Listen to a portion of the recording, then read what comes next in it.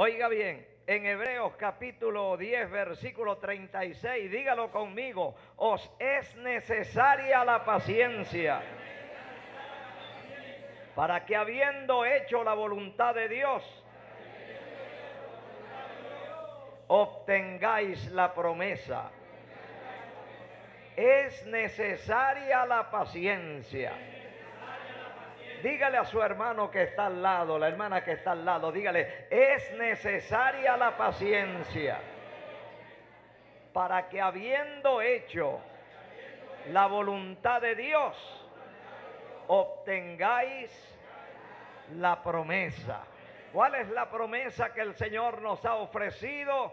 La vida eterna. Dele ese aplauso al Señor. Diga gloria a Dios. Pueden sentarse mis hermanos mientras van buscando. Siéntese hermanito mientras va buscando Romanos capítulo 15. No se olvide, es necesaria la paciencia. En el hogar necesitamos, ¿qué necesitamos en el hogar? Paciencia. ¿Qué necesitamos para con nuestros hijos? Paciencia. ¿Qué necesita el marido para su mujer? Paciencia. ¿Qué necesita la esposa para con el marido? Paciencia. ¿Qué necesitamos para con los vecinos? Paciencia. ¿Qué necesitamos para con nuestras autoridades? Paciencia. Paciencia. ¿Qué necesitan las autoridades con el pueblo? Paciencia, paciencia, paciencia y más paciencia. ¿Cuántos dicen gloria a Dios? Allá en Israel ellos ponen la mano así, así. Como cuando uno dice un puñito, un puñito, ellos ponen la mano así. Y ellos dicen sablanut, sablanut. Eso significa paciencia, paciencia. Y ya la gente sabe, cuando ellos hacen con la mano así, están diciéndole, ten paciencia, no me apures. Si alguien llega, por ejemplo, a un despacho, a una oficina, y, empieza con apuro a levantar el sobre para que eh, la joven que está ahí en el correo lo atienda, inmediatamente ella lo mira desesperado, angustiado, y ¿cómo le hace? Vamos a ver, ¿cómo le hace? Sablanut, sablanut, arbe sablanut. Eso significa paciencia, paciencia, mucha paciencia. Pero ellos mismos se responden. Diga conmigo, sablanut, sablanut. Arbe sablanut. Aval e insablanut. Eh, Paciencia, paciencia. Necesitamos paciencia, pero no hay paciencia. La gente vive angustiado, vive desesperado, pero nosotros en Cristo tenemos sablanut, tenemos paciencia, porque el dueño de la paciencia está dentro de nosotros. Diga gloria a Dios. Alabado es el nombre del Señor. Tengan sus Biblias abiertas, amados hermanos, en Romanos capítulo 15. Imagínese usted cuánto tiempo hemos esperado para que el Señor nos entregase los medios de comunicación. 37 años orando y orando y orando y orando. Estábamos pidiéndole al Señor que nos diera una radio. Ahora el Señor ha levantado más de 20 radioemisoras dentro de la obra. Diga gloria a Dios.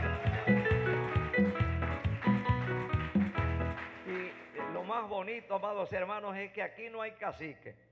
Eh, El, más, humilde, el más tontico por ahí en cualquier campo, compra sus perolitos, los pone aquí en la, eh, plataforma del templo y, pone un- una vara para arriba con la antena y empieza a predicar. Que Dios bendiga a nuestro presidente. Gloria a Dios.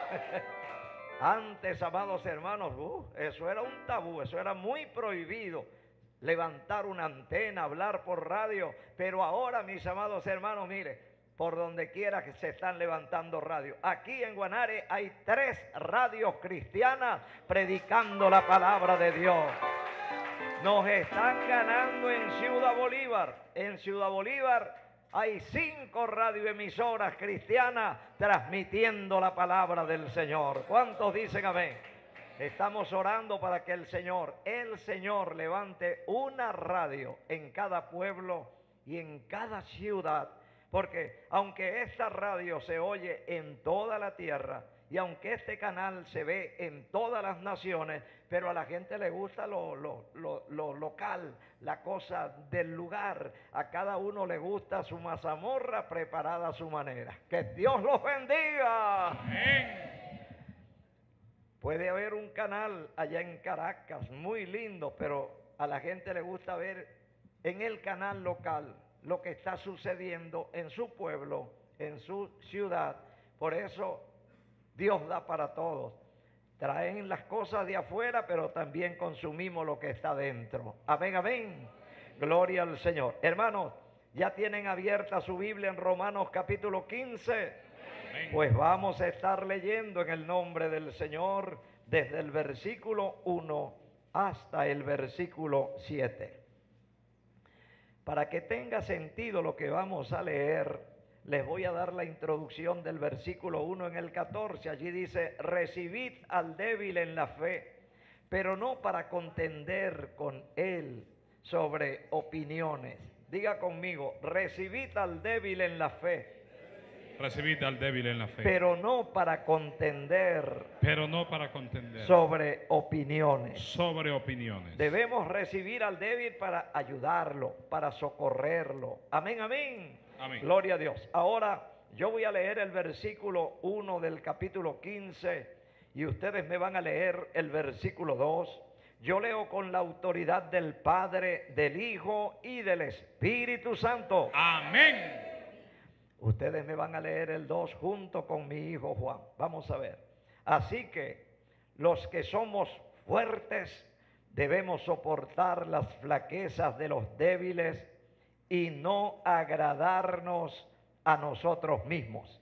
Cada uno de nosotros agrade a su prójimo en lo que es bueno para edificación. Porque ni aun Cristo se agradó a sí mismo. Antes bien, como está escrito, los vituperios de los que te vituperaban cayeron sobre mí. Porque las cosas que se escribieron antes para nuestra enseñanza se escribieron a fin de que por la paciencia y la consolación de las escrituras tengamos esperanza. Pero el Dios de la paciencia y de la consolación os dé entre vosotros un mismo sentir según Cristo Jesús. para que unánimes a una voz glorifiquéis al Dios y Padre de nuestro Señor Jesucristo. Por tanto, recibíos los unos a los otros, como también Cristo nos recibió, diga conmigo, para gloria de Dios. Para gloria de Dios. Dígale a su hermano, recibíos Recibíos los unos a los otros, los unos a los como otros, también Cristo como también Cristo nos recibió nos recibió para gloria de Dios. para gloria de Dios. Levante su mano al cielo y vamos a orar a Dios para que el Señor traiga el discernimiento de esta palabra. Oremos. Padre, en el nombre de Jesús de Nazaret, Dios mío, enos aquí delante de ti, Señor. Delante de tu palabra, mi Padre eterno. Háblanos en esta hora, Padre bueno. Queremos salir de aquí edificados a través de tu palabra. Y todos aquellos que nos están viendo a través de este lindo canal, Señor, también queden impactados a través de esta palabra. En el nombre de Jesús de Nazaret. Gracias, Señor. Edifica tu pueblo, edifica la iglesia y tráenos mucha paciencia en el nombre de Jesús. Amén. Puede sentarse mi hermano y que Dios le bendiga. Amén. En este momento los hermanos allá en Jerusalén, ellos son asiduos, eh, asiduos asistentes a esta escuela dominical. Ellos nos acompañan cada semana. Ellos tienen sus computadoras prendidas y en estos días me llaman, estaban apuraditos y, me preguntan, me dice hermano, ¿y, la escuela dominical no va a salir hoy? Pero resulta de que ellos tienen siete horas delante de nosotros, cuando aquí son las 12 del día, allá son las 7 de la noche, allá son las 7 de la noche. De manera que ellos están más adelantados que nosotros. Y faltaba una hora todavía para para la escuela dominical. Y entonces me llaman y me dicen, hermano, aquí tenemos el canal, estamos mirando, pero, pero no nos sale la escuela dominical. Eh, aparecen otras cosas, pero ¿qué pasó con la escuela dominical? Yo le dije, mira, son siete horas de diferencia y cuando aquí son las doce, allá son las siete y la escuela dominical se las pasamos a ustedes a la una de la tarde de aquí. Lo que copiamos en esta escuela dominical en vivo lo pasan los muchachos a la una de la tarde y, son las ocho de la noche allá. ¿Qué hora tienen ustedes allá? Me dice, ah, aquí son las siete y cuarenta minutos. Faltan veinte minutos todavía. Justamente a la hora estaba saliendo la escuela dominical hacia toda la tierra. Diga gloria a Dios. El Señor le gusta que seamos puntuales, pero debemos tener paciencia. Amén. Si yo preguntara qué es la paciencia, estoy seguro que cualquiera me diría, bueno hermano, paciencia es lo contrario de impaciencia.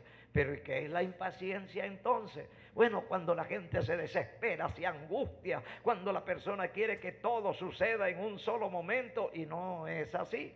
Dios, siendo omnipotente, que todo lo puede, que todo lo sabe, sin embargo, para la creación tomó siete días. El primer día, como dijo Dios el primer día? Sea la, luz. ¿Y qué pasó? Y fue la luz. Fue la luz. Después dijo Dios, sepárense las aguas de las aguas.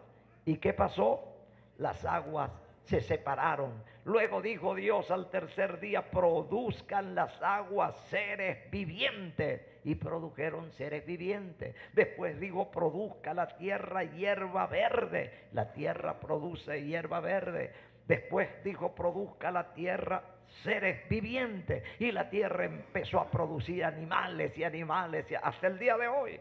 Usted encierra un pedazo de parcela y le mete paredes de bloque y se va cuando usted regresa a los cinco años encuentra sapos, culebras, cachicamos, conejos, venado. Y usted dice, ¿por dónde se metieron? Es que la palabra de Dios está en la tierra, está en el agua. La palabra de Dios debe estar entre nosotros también. Aleluya. ¿Cuántos dicen gloria a Dios? Gloria a Dios. Después dijo Dios, hagamos al hombre a nuestra imagen y semejanza. Eso fue en el día número 6. Si el primer día de la semana es el domingo, ¿cuándo fue hecho el hombre? ¿Cuál es el día número 6? El viernes. El hombre fue hecho el día número 6. Y después que Dios hizo al hombre, cada vez que hacía algo, Dios decía, es bueno lo que he creado. Todo lo que iba haciendo era bueno. Pero cuando hizo al hombre, amados hermanos, dejó al hombre por allí poniéndole nombre a los animalitos y luego Dios contemplaba al hombre, que el hombre estaba solitario, no tenía compañía. Cada animalito tenía su pareja. El toro. ¿cuál es la pareja del burro? La burra. La burra, ¿cuál es la pareja del conejo? La, coneja, cada uno con su compañero, pero el hombre andaba solitario. Y cuando Dios miró al hombre solitario, Padre, Hijo y Espíritu Santo se reunieron. Imagínese usted una cumbre celestial y ellos dijeron, diga conmigo, no es bueno. No es bueno que el hombre esté solo. Que el hombre esté solo. Hagamos para él ayuda idónea. Hagamos para él ayuda idónea. Y durmió al hombre, le sacó una costilla y le hizo su mujer.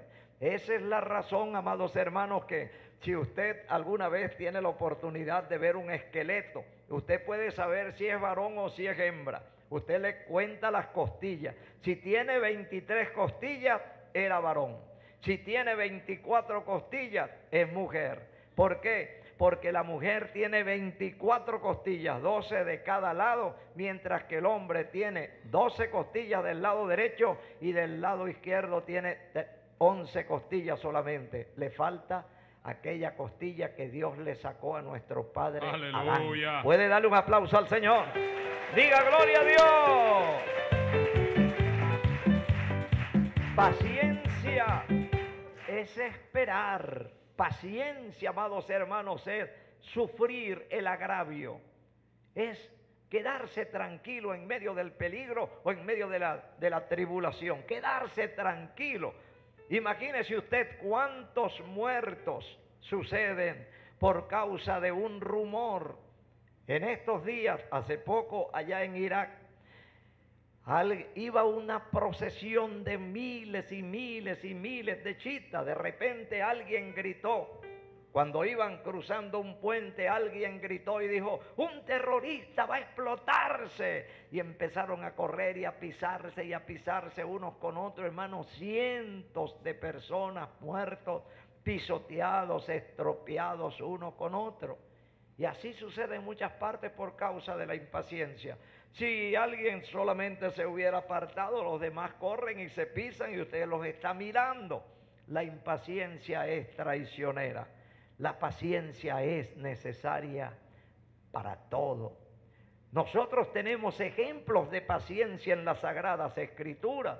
Cuando nosotros pensamos en la paciencia de Job, Job es el hombre conocido por la paciencia. Fue aquel hombre, amados hermanos, a quien el diablo se la dedicó. En el libro de Job que está antes de los Salmos, capítulo 1 y capítulo 2, el diablo pidió permiso para arruinar a Job.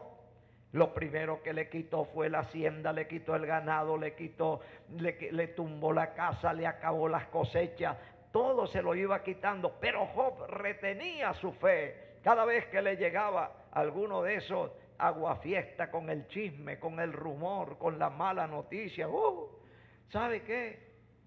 Vinieron los hebeos y se llevaron los camellos. Jehová me dio los camellos, Jehová me los quitó, sea Jehová bendito para siempre. Vinieron por allá los mm, anaseos y se llevaron las vacas, se llevaron los becerros, se llevaron el ganado. Jehová me dio el becerro, Jehová me los quitó, sea el nombre de Jehová bendito. Y cada uno que le llegaba, al final, cuando ya le había perdido todo, le llegaron diciendo, mira que se cayó la casa, tus hijos estaban celebrando el cumpleaños de uno de ellos y los diez muchachos murieron, los siete varones y las tres hembras. Levantó los brazos hacia el cielo, Jehová me dio mis hijos, Jehová me los quitó, sea el nombre de Jehová bendito para siempre. Hermano, volvió el diablo a, presentarse en la reunión de los hijos de Dios, porque en la reunión de los hijos de Dios a veces se mete el diablo. Hermano, y el Señor volvió a preguntarle, ¿de dónde viene Satán? Y él dijo, de andar por la tierra, rondeando la tierra. ¿No has contemplado a mi siervo Job? Que no hay otro como él en toda la tierra. El diablo empezó a maquinar otra maldad terrible contra nuestro hermano Job. Le dijo, no te sirve de balde, tú lo tienes bien gordo, robusto, hermoso, pero si le toco la salud, seguro que blasfema tu nombre, te maldice, no quiere más nada contigo. Y el Señor le dijo, tienes permiso para tocar su cuerpo, pero no su alma, su vida es mía Salió ese diablo de la presencia del Señor, hermano. Eso venía bajando como un misil. Y seguramente dormía mi hermano Juan cuando le cayó el diablo encima, le pasó las uñas por aquí, se las pasó por allá. Hermano, una sarna terrible se levantó con esa picazón, se le empezó a podrir el cuerpo, estaba lleno de llagas, se sentaba sobre ceniza, se rascaba con una teja, todo eso está en el capítulo 2, pero retenía su fe. Oh, y aun cuando vinieron, amados hermanos, gente a tentarlo, ¿dónde está tu Dios? Nosotros no somos tan rezanderos, tan religiosos como tú y estamos bien. ¿Y por qué tú, siendo que eres tan creyente, tienes tantos problemas? Yo sé que mi redentor está vivo y que un día se levantará sobre el polvo. Sigo confiando en Él y aunque me matare, en Él esperaré. Gloria al Señor. No pecó Job con sus labios. La mujer se rebeló contra él, se levantó contra él la mujer. ¿Hasta cuándo retienes tu fe? Estoy cansado de dormir al lado de un hediondo, de una llaga podrida. Maldice a Dios y muérete. Y él le dijo, diga conmigo, como cualquier mujer fatua. Como cualquier mujer fatua. Has hablado. Has hablado. Si recibimos las cosas buenas de Dios. Si recibimos las cosas buenas de Dios. ¿Por qué no recibir también las malas? ¿Por qué no recibir también las malas? Dios sabe lo que hace. Dios sabe lo que hace. Y hermano, no pecó Job con sus palabras, no ofendió a Dios. Y al final de la historia, en el capítulo 42, versículo 10, dice que quitó Dios la aflicción de Job cuando él hubo orado por, sus, amigos. Esperó con paciencia y recibió la bendición. Y dice la Biblia que Dios le devolvió el doble, todas las cosas que habían sido de Job. Dele ese aplauso al Señor. Diga gloria a Dios. Diga, yo voy a esperar con paciencia. Dios nos va a bendecir. Él ha prometido bendecirnos Él ha prometido y, nos está bendiciendo, Y nos está pero aún tiene cosas mayores para nosotros. Mayores. ¿Cuántos dicen gloria a Dios? Gloria a Dios. En estos días, esta señal de Luz TV va a estar saliendo por intercable sin pagar nada. Dele la gloria a Dios. Gloria a Dios. Sin pagar nada. Dele la gloria a Dios. Diga gloria a Dios. Diga gloria a Dios. Bendito el nombre del Señor. La escritura dice, no a nosotros, Señor, sino a tu nombre da gloria. La gloria es para Dios, enteramente para Dios. Amén, amén. En estos días, un hermano se montó con un taxista aquí en esta ciudad. Y el taxista le dijo, yo no soy evangélico, mi madre sí es creyente, pero ella vive pegada en ese canal de ustedes, ella le gusta todo lo que ustedes están haciendo. Y cuando supo que los van a meter dentro de intercable, se puso tan contenta que yo quiero darle una alegría a mi madre. Le voy a comprar una pantalla plana. Se la voy a pegar allí en la Gloria. pared para que mi madre sus últimos días se goce viendo lo que Dios les está dando a ustedes. Bendito sea Dios. Aleluya. Aleluya. Yo digo que Job es un ejemplo de paciencia. Pero hay alguien, amados hermanos, que está aún sobre ese ejemplo de Job. Y es nuestro Salvador Jesucristo, colgado en el madero, coronado con espina, bañado con su propia sangre, clavada las manos y los pies. Cuando le daban a beber vinagre, se burlaban de él. Su oración por nosotros, por los pecadores fue, dígalo conmigo, perdona a los padres Perdona a los padres. porque no saben lo que hacen. Porque no saben lo que hacen. Qué grandeza, amados hermanos, qué paciencia con nosotros. Si hubiera sido un acelerado, seguramente que hubiera orado se habría abierto la tierra y nos habría tragado a todos. Pero la paciencia del Señor es para salvación. ¿Cuántos dan Aleluya, gloria a Dios? Gloria a Dios. Tengan sus Biblias abiertas y vamos al estudio. Ustedes me van a ayudar. A mí me gusta hacer preguntas y al final yo voy a hacer un examen para ver cómo están ustedes, a ver si han entendido lo que el Señor nos ha dado en este día. Gloria. En el versículo 1 nos dice, así que los que somos fuertes debemos soportar las flaquezas de los débiles y no agradarnos a nosotros Mismos. Amén. Cuando está hablando aquí de los débiles, es una conversación que trae el apóstol Pablo desde atrás. Como yo les leí el versículo 1 y el versículo 2, recibid al débil en la fe, pero no para contender sobre opiniones. Porque uno cree que se ha de comer de todo y el otro que es débil come legumbres solamente.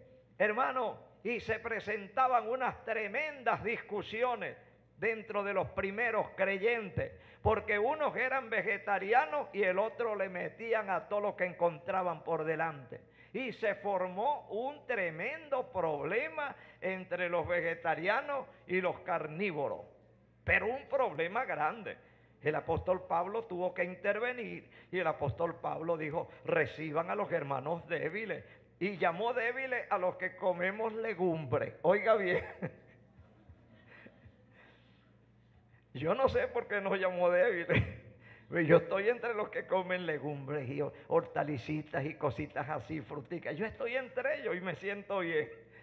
Estaba, estaban mis hijos estudiando aquí en la escuela técnica y los muchachos comenzaron a hablar acerca de las costumbres del papá. La mamá aparte, el papá.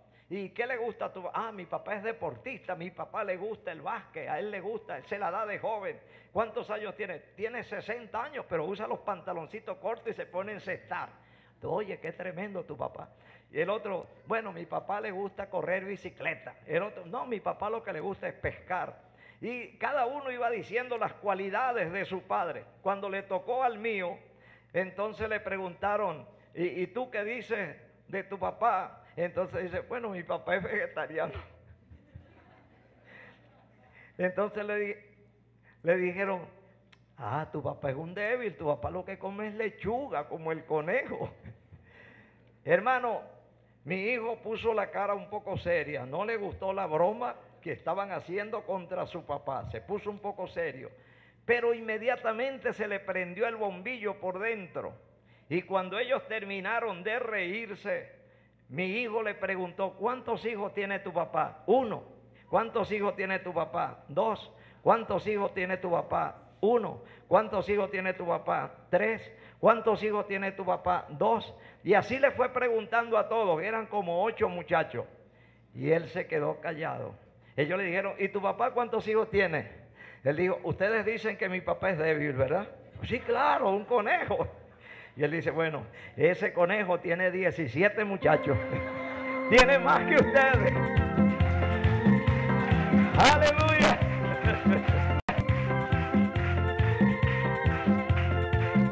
El apóstol Pablo como hombre de Dios, hermano, la gente de Dios no, no es litigiosa. Nosotros buscamos la paz, nosotros buscamos el amor, no solamente dentro de nuestro hogar, sino en la comunidad, en la iglesia, en el trabajo, en la escuela, en el liceo. No podemos ir ganando enemigos, sino amigos, porque Jesucristo nos dio ejemplo en todo. ¿Cuántos dicen gloria a Dios? Gloria a Dios. El apóstol Pablo le manda esta carta a los romanos para, para, cortar el asunto ese de la rivalidad, la contienda entre los fuertes y los débiles que usted come carne, bueno, y se siente fuerte, pues que Dios lo bendiga. Que el otro lo que come es lechuga y tomate y, vegetales. Pero, pero siéntanse familia, siéntanse hermanos, que cada uno esté contento porque los dos vamos a la patria celestial. Aleluya. Y el reino de, de los cielos no consiste en comida ni en bebida, sino en justicia, paz y gozo por el Espíritu Santo. ¿Cuánto dicen gloria a Dios? Ahora llegamos al capítulo 15, versículo 1, que es lo que estamos estudiando. Y dice, así que los que somos fuertes, Él se mete entre los fuertes, oiga bien, así que los que somos fuertes debemos soportar las flaquezas de los débiles. ¿Y qué más? Y no, agradarnos a nosotros mismos. Oiga bien, los que somos fuertes si usted se siente fuerte en la palabra, porque usted se sabe capítulos de memoria, versículos de memoria, usted sabe dónde está la cita, usted sabe dónde se encuentra el primer libro, el último libro de la Biblia, usted sabe dónde están los salmos, usted es fuerte en la palabra, es fuerte en la música, es fuerte en el canto, tiene una voz terrible, una voz linda de locutor, usted se siente fuerte porque tiene títulos y un posgrado usted se siente fuerte porque tiene un buen trabajo, usted es ganadero, usted tiene una hacienda, usted se siente fuerte porque tiene muchos hijos, usted se siente fuerte porque tiene un buen negocio, usted se siente fuerte porque es una persona inteligente. Tiene razón para sentirse fuerte, pero aquí dice, los que somos fuertes, debemos recibir con mansedumbre. ¿A quién? A los débiles debemos recibirlos con mansedumbre y no agradarnos a nosotros mismos. No hay cosa más fea que una persona adulante, una persona opulenta, una persona que se siente dueño de la situación, que sabe todas las respuestas, una persona que mira a los demás así sobre los hombros, que piensa que no necesita de nadie. Eso es muy triste porque todos necesitamos de todos. La mano derecha es fuerte, pero necesita de la izquierda para lavarse porque ella sola no se puede lavar. El fuerte necesita del débil. Por eso la electricidad no funciona si hay un solo polo positivo que es fuerte. Por allí llega la potencia, por allí llega la electricidad. Pero amados hermanos, si no está el negativo por donde sale, por donde se escapa, no hay luz. Por eso dice la Biblia que mejor son dos que uno. Y el Señor todo lo hizo en pareja, la luz y las tinieblas, lo grande y lo pequeño, gordo, flaco, bonito, feo, negro, blanco, todo lo hizo de dos en dos. El sol y la luna, el mar y los ríos, todo lo hizo el Señor en pareja, según su sabiduría. ¿Cuántos dicen gloria a Dios? Gloria a Dios. Pregunto, ¿necesitamos de los débiles? Sí. Hubo un país, amados hermanos, El Salvador, donde todos los jóvenes eran bachilleres. Y como todos los jóvenes eran bachilleres y tenían título, nadie quería trabajar en el aseo urbano. Y era necesario entonces que llegaran gentes allá para hacer el trabajo de aseo urbano. Pero resulta que los que tenían título se quedaron sin trabajo. Porque ¿a dónde se le va a dar trabajo a 20 mil médicos en un país tan pequeño? ¿Dónde se le va a dar trabajo allá en Israel? 60 mil economistas llegaron, amados hermanos, en menos de dos años. Venían de la ex Unión Soviética ¿Cómo se le da trabajo a toda esa gente? Pues terminaron aquella gente con sus títulos, científicos, médicos, vendiendo como buhoneros, poniendo cositas usadas en el suelo y vendiendo a los extranjeros que trabajaban en la construcción. Necesitamos de los débiles y necesitamos de los fuertes. Amén, amén. amén. Dice en el versículo 2, diga conmigo, cada uno de nosotros. Cada uno de nosotros. Agrade a su prójimo. Agrade a su prójimo. En lo que es bueno. En lo que es bueno. ¿Para qué? Para edificación. Para edificación. Nosotros debemos agradar, amados hermanos. No debemos portarnos así como la persona soberbia, arrogante, porque eso no le agrada a Dios. La Biblia dice que Dios resiste a los soberbios y qué más? Y da gracia a los humildes. Y da gracia a los humildes. Qué lindo es una persona humilde. En el versículo 3 nos dice la palabra, porque ni aun Cristo se agradó a sí mismo. Antes bien, como está escrito, los vituperios de los que vituperaban cayeron sobre mí. Diga conmigo, los vituperios. Los vituperios. De los que te vituperaban. De los que te vituperaban. Cayeron sobre mí. Cayeron Jesucristo no se agradó a sí mismo. La Biblia dice que siendo Dios, se anonadó a sí mismo, se tomó forma de siervo, vino aquí, nació en un pesebre, no nació en el palacio del rey Herodes, vivió, amados hermanos, humilde, sencillo, no tenía ni siquiera una almohada para recostar su cabeza. Dormía en el monte de los olivos, en las cuevas. Pasaba las noches orando. Ayunó 40 días vivía sirviendo, no despreciaba a los pobres, a los niños, a los leprosos, mujeres con flujo de sangre tocaron su manto y fueron sanadas. El Señor no era un intocable, el Señor no andaba con una con una escolta. El Señor no andaba dentro de un papa móvil para que no lo tocaran, para que no lo fueran a, a ensuciar. No, el Señor iba a donde estaban los necesitados y sigue viniendo donde hay necesidad. Aleluya. Diga gloria a Dios.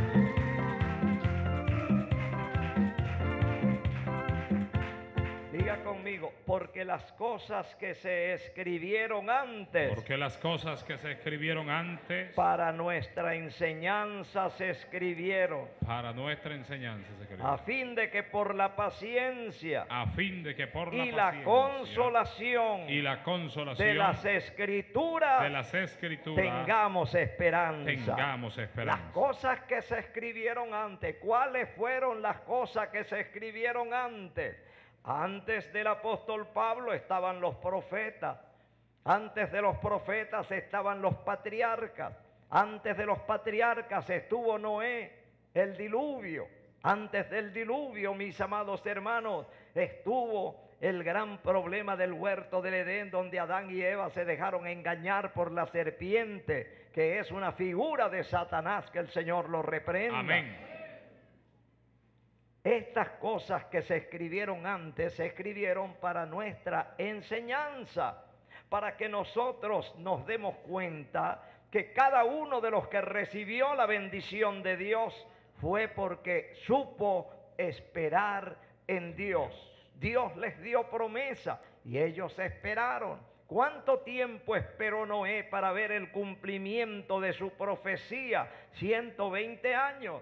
Dios le habló a Noé, voy a destruir todo ser viviente sobre la tierra, pero tienes que hacer un barco y un barco grande, que ese barco mida 600 codos de largo. ¿Usted sabe cuántos son 600 codos de largo? 300 metros. Un barco de 300 metros es un portaaviones. Pues él tenía que hacer un barco portaaviones de 300 metros de altura de, de, largo. Y el Señor le dijo, le vas a poner 60 codos de, de, ancho, 30 metros, y le vas a poner 15, 30 codos de altura, o sea, 15 metros. ¿Cuántos pisos caben allí, mis amados hermanos? 120 años pasó Noé construyendo el barco, pero esperaba con paciencia, trabajaba con paciencia, nadie le estaba pagando, era un obrero del Señor. ¿Cuántos dicen amén? Amén. Y al cabo de los 120 años, cuando el barco estuvo listo y calefateado, estaba listo para ser habitado, Dios le dijo, aún voy a dar siete días de tregua, siete días de ñapa, de propina Avísale a la gente que faltan siete días para que venga el diluvio y la destrucción. ¿Cómo correría ese viejecito, amados hermanos? Tocando puertas, llamando a su familia, buscando a sus conocidos, de pueblo en pueblo. Un viejito, amados hermanos, con ese garrote en la mano tocando a sus vecinos. Faltan siete días, faltan cinco días, cuatro, tres, dos, un día. Ah, Noé, ya está bien. 120 años hablándonos el mismo asunto, Noé. ¿Cuándo viene el fin? Falta un día. Pero Noé, si todo está igual. Esta mañana el sol salió por el este, se va a meter por el oeste. Noé, tanto, tanto que oras, tanto, tanto que estás en contacto con Dios, parece que te está fallando la memoria, te falla la cabeza, Noé. Hermano, cuando Dios cierra una puerta, nadie la va a abrir. Aleluya. Dios dijo, el tiempo se cumplió. Entra Noé. Y junto con Noé empezaron a entrar los animales en parejas de dos en dos. Los animales fueron más obedientes que la humanidad. Ni uno solo de sus amigos entró, ni uno solo de sus conocidos y parientes, solamente Noé y sus tres hijos y las mujeres de sus hijos y la esposa y la puerta se cerró. No fue Noé quien cerró la puerta, fue Dios quien la cerró. Amén. Y hermano, comenzaron relámpagos y truenos empezaron a abrirse las cataratas del cielo, empezaron las aguas a subir y la gente se decían unos a otros, parece que es verdad lo que decía el Señor Noé, parece que es verdad lo que nos profetizaba. Corrieron junto al barco y tocaban la puerta. Noé no puede abrirles. Dios cerró la oportunidad. Hermano, se dice, y esto no está en la Biblia, es la tradición hebrea, que muchos esqueletos quedaron sobre el barco. Gentes que eran amigos, que le habían ayudado en la construcción, que a lo mejor le traían comida, le llevaban agua, le prestaban el serrucho, el martillo, los clavos. Gente que lo ayudaban a cargar la madera.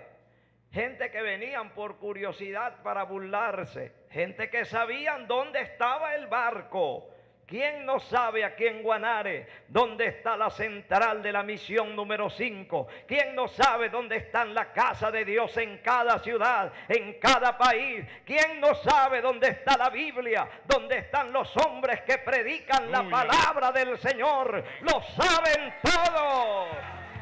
Hoy, amados hermanos, muchos se burlan, muchos desprecian el mensaje pero viene un día cuando la puerta de la oportunidad se cerrará y se cerrará para siempre.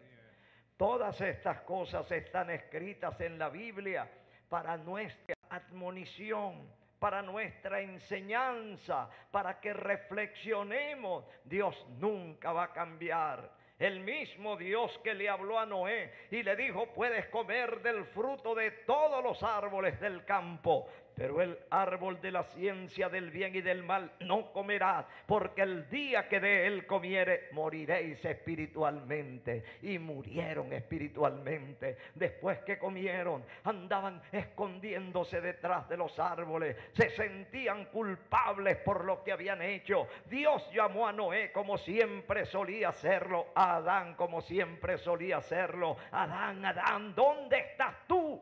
Y él dijo, oí tu voz en el huerto y tuve miedo. Y salí corriendo a esconderme porque estaba desnudo. Ajá, ¿y quién te dijo que estabas desnudo, Adán? Tú siempre has estado desnudo. Siempre has estado así. ¿Y cómo fue que te diste cuenta? ¿No será que comiste del árbol de la ciencia del bien y del mal que yo te dije que no comiera? Señor, la mujer que tú me diste por compañera, ella me dio, yo comí, como quien dice, no te la estaba pidiendo, el culpable eres tú. Siempre andamos buscando a quien culpar. Estas cosas están escritas, amados hermanos, para nuestra enseñanza. Gloria a Dios. Que lo que Dios ha dicho, eso se va a cumplir. Dios nunca ha tomado al hombre por sorpresa. Cuando nosotros leemos la historia de Sodoma y Gomorra, dos ciudades abominables, dos ciudades entregadas al lesbianismo y a la homosexualidad. Eran ciudades corrompidas donde ya el hombre no tenía el uso natural de su mujer, sino que buscaba aberraciones sexuales. La ira de Dios se encendió desde los cielos, porque aunque mandó profetas, mandó hombres de Dios, no hicieron caso a los hombres de Dios. Mandó ángeles y no les hicieron caso. Cuando vinieron dos ángeles para sacar a Lot de allí, los hombres del pueblo querían pecar carnalmente con los ángeles. Y eso está escrito en Génesis capítulo 19. Y se encendió la ira de Dios. Y empezó a mandar fuego y azufre y se quemaron. Y se hundió la tierra 400 metros bajo el nivel del mar. Y ahí está como testimonio el mar muerto. Vienen miles y millones de personas a ver el muerto, el lugar donde existían las ciudades de los sodomitas, de las lesbianas, donde nació el pecado de hombre con hombre. Allí está como testimonio en Israel el mar muerto. Acabamos de tener las noticias hace una semana de la mano de Dios sobre una parte de los Estados Unidos. Es la ciudad donde nació el jazz es una ciudad donde hay nudismo. Ayer salió en el internet a donde ellos están diciendo el hombre que tiene el gran nightclub, el hombre que, que vende carne allí, carne humana. El hombre que tiene su gran negocio con mujeres desnudas aparece diciendo, yo tengo esperanza que mi negocio volverá y bastante muchachas vendrán a trabajar aún más que antes. Porque la gente no coge escarmiento, mis amados hermanos. Mientras que en otro estado de allí, de los Estados Unidos, un gobernador donde ya se había aprobado la ley de matrimonio de hombres con hombres, frente a ese juicio se retractó y él dijo que derogaba esa ley y que prohibido matrimonio, no aprobación de matrimonio entre hombre y hombre y mujer y mujer allá en ese estado de los Estados Unidos. Hay gente que oye y reflexiona, hay gente que oye y no reflexiona. Nosotros somos de los que reflexionamos y le creemos a Dios. Creemos a la palabra de Dios. Bendito sea su nombre. Diga conmigo, estas cosas se escribieron para nuestra enseñanza a fin de que por la paciencia y la consolación de las escrituras, a fin de que por la paciencia y la consolación de las escrituras, dígalo conmigo, tengamos esperanza. Tengamos esperanza. Y ahora el versículo 5, léanlo conmigo. Pero el Dios de la paciencia. Pero el Dios de la paciencia. Y de la consolación. Y de la consolación. Os dé entre vosotros. Os dé entre vosotros. Un mismo sentir. Un mismo sentir. Según Cristo Jesús. Cristo Jesús. Para que unánime. Para que unánime. A una voz. A una voz. Glorifiquéis al Dios glorifiquéis al Dios. Padre de nuestro Señor Jesucristo. Diga conmigo que el Dios de la paciencia. el Dios de la paciencia. Nos ayude. Nos ayude. Para glorificar a Dios. Para glorificar a Dios. A una voz. A una voz. Estoy muy contento de que mi hijo, el pastor está llevando a la congregación a una vida de adoración y de alabanza, que les está invitando a ser agradecidos con Dios, a darle la gloria a Dios por tantas cosas bonitas que nos da cada día. Amén. Cada vez que usted despierta, es como si usted regresara a la vida. Lo que más se parece a la muerte es el sueño. Cuando una persona está dormida, es como si estuviera en el otro mundo.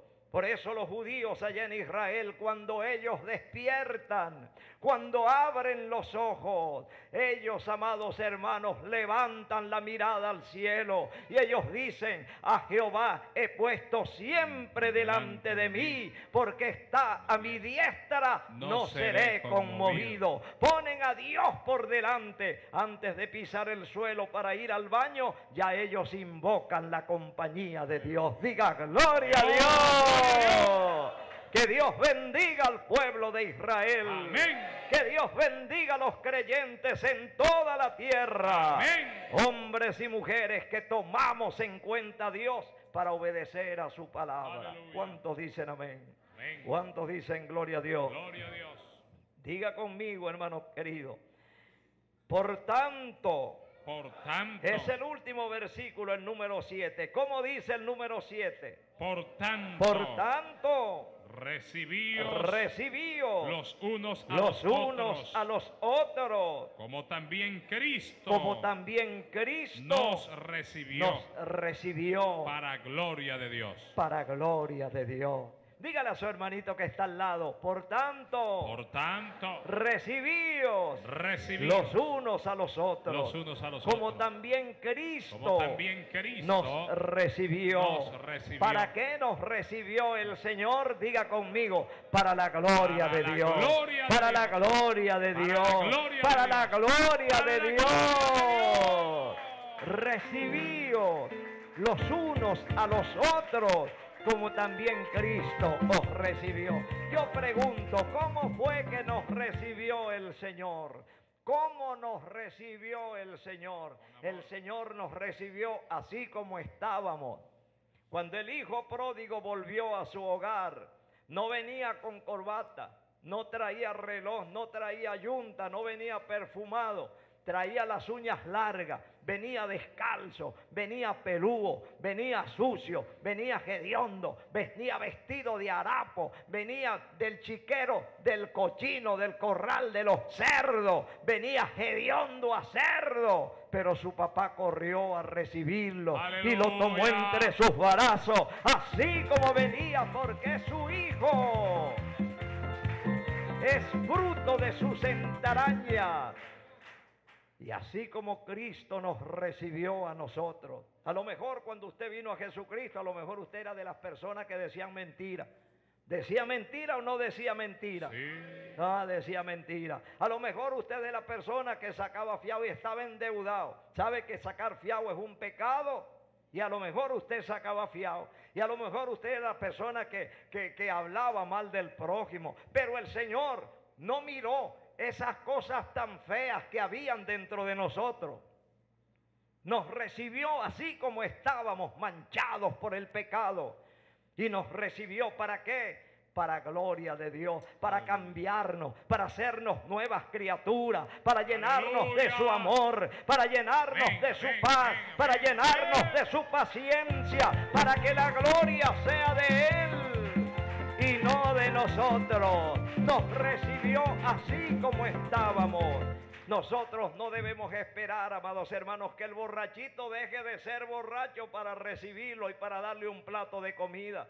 No debemos esperar que el pobrecito drogadicto que está enganchado y que su familia no quiere nada con él porque ha manchado el buen nombre de la familia. Nosotros no debemos despreciarlo, debemos extenderle la misericordia, debemos socorrerlo, debemos ayudarlo. No estamos apoyando lo malo. Lo hacemos para sacarlo del infierno, Amén. para entregárselo al Señor. Amén. Recibámoslo tal como está, porque así lo hizo Cristo con Aleluya. nosotros. ¿Cuántos dicen gloria a Dios? Gloria a Dios. Diga conmigo, recibíos Recibíos los unos a los otros los unos a los otros en el amor del en Señor. el amor del Señor. Recibíos así como Cristo nos recibió a nosotros.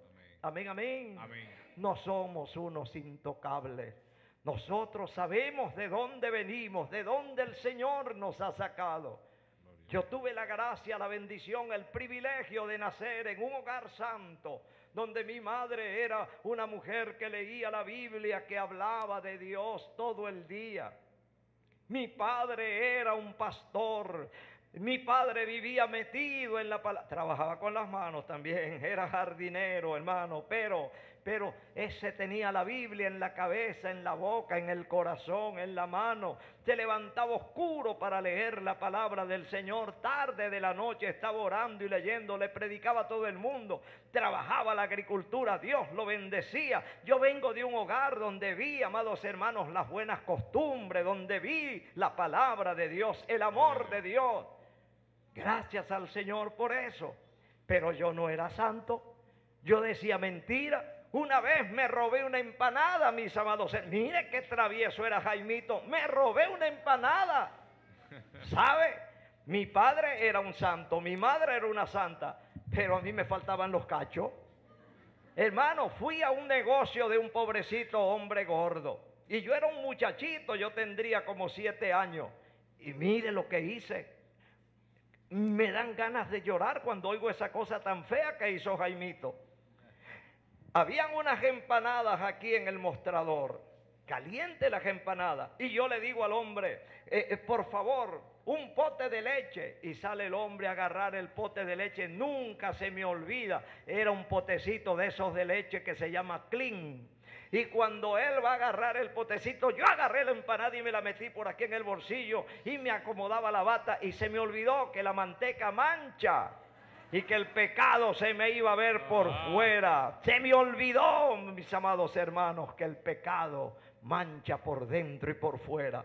Y cuando, cuando el viejecito trae el potecito de leche, le dije, Señor, ¿y cuánto vale? Me dijo, cinco reales. Cinco reales es dos bolívares con un real. Y, y yo le dije, ay Señor, perdóname, me falta. Me faltaba arrepentirme, me faltaba el perdón de mis pecados, me faltaba que Jesucristo me cambiara por dentro y por fuera, porque la santidad no se hereda, es algo voluntario, personal, que usted reciba la invitación del Señor. ¿Cuántos dicen amén? Amén. Salí corriendo, amados hermanos. Ay, cuando yo voy a buscar la empanada y me veo esa bata tan manchada. Ay, ¿qué le digo a mi mamá? El pecado de la empanada. Nunca lo he olvidado, amados hermanos. Nunca. Pero así me recibió el Señor. Cuando mi padre me predicó como a los ocho años. Cuando mi padre me dijo, Jaimito, ¿para dónde tú quieres ir? ¿Al cielo o al infierno? Ah, yo era muy avispado. Yo le dije, va para el cielo. Y él me dijo, Jaimito, ¿y qué tienes que hacer para ir al cielo? Yo le dije, papá, ah, yo me sabía los versículos de memoria, los había oído desde que estaba en la panza. Yo le dije, papá, yo tengo que recibir a Jesús en mi corazón como mi Salvador personal. Me dijo Jaimito, ¿y cuándo piensas hacerlo? Mi hermano Kenneth estaba al lado, un año y dos meses menor que yo. Yo le dije, ahora mismo papá, y rum, me arrodillé. Y mi padre me hizo una pregunta más o menos como esta. Ajá, ¿y por qué no esperas? cuando seas un viejito como yo, ¿por qué no esperas cuando, cuando ya estés un poco viejo? Como yo era avispado, yo le dije, papá, ¿y si me muero en el camino? Me lleva el diablo. Yo quiero entregarme ahora mismo, papá. Papá oró por mí y nunca más robé empanadas. Gracias al Señor. Gloria a Dios. Aleluya. Diga conmigo, Señor. Señor. Así como tú has tenido paciencia conmigo. Has tenido paciencia. Ayúdame, oh Dios. Ayúdame, oh Dios. Para tener paciencia. Tener paciencia con mis seres queridos, con mis, amigos, con mis, conocidos, con mis, compañeros, con mis jefes, con mis, gobernantes, con las autoridades. Enséñame, Señor, el camino de la paciencia. Señor, Jesús, tú nos diste ejemplo en todo. Y sabemos, que el que tiene a Cristo no solamente tiene amor, y tiene gozo, y tiene paz, sino que tiene también paciencia en medio de las situaciones difíciles. Mil gracias, Señor. Llénanos de tu paciencia, que seamos bendición donde quiera que estemos. En el nombre de Jesús. Amén y amén. Dele ese aplauso al Señor. Diga gloria a Dios. Gloria a Dios. Diga gloria a Dios. Gloria a Dios.